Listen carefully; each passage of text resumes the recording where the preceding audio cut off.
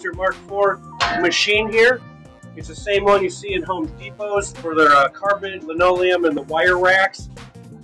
Uh, it's 9 foot 6 inches high, 14 foot 6 inch wide, and 40 inches deep, which is 3 foot 4 inches.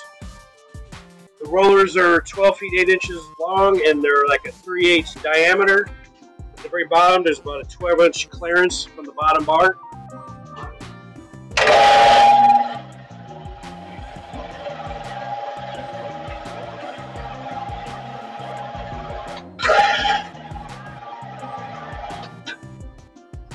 It runs off uh, 220, three phase. I got running off 220 right now.